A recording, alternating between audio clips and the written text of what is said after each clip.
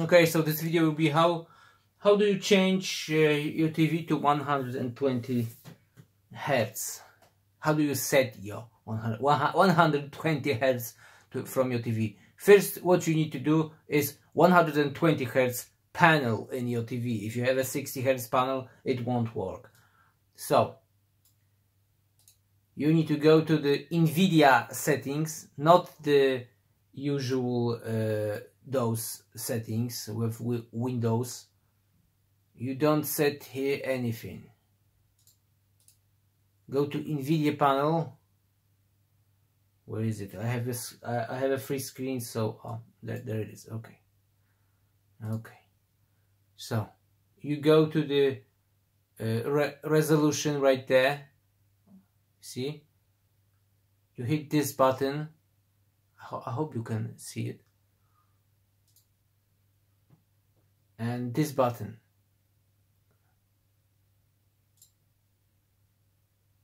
The window will appear like that.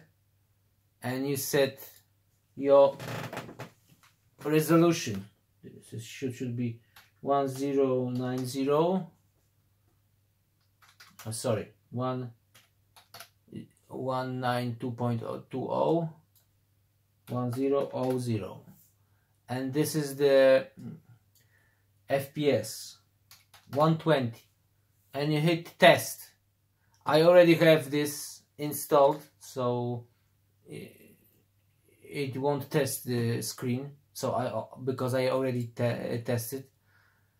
And now when you do that in this corner of your screen where you can change your resolution. You, ha you, ha you have your resolution sli slider all the way up. You can see full HD progressive 120 Hertz. And you need to hit accept which is on the right down corner. That's me and, you, and now you can see 120 Hertz right there.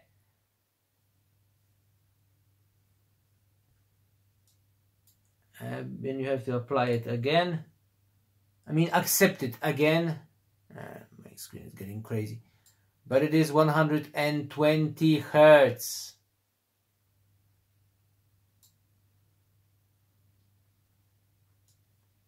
Like like you can see already the screen is getting bigger 120 Hertz is right there yep and I think that's it that's all you need to do. And now your games will work via HDMI in 120 Hz. I use the NVIDIA graphic cards and HDMI 2.0. That's it. Thanks for watching. Goodbye.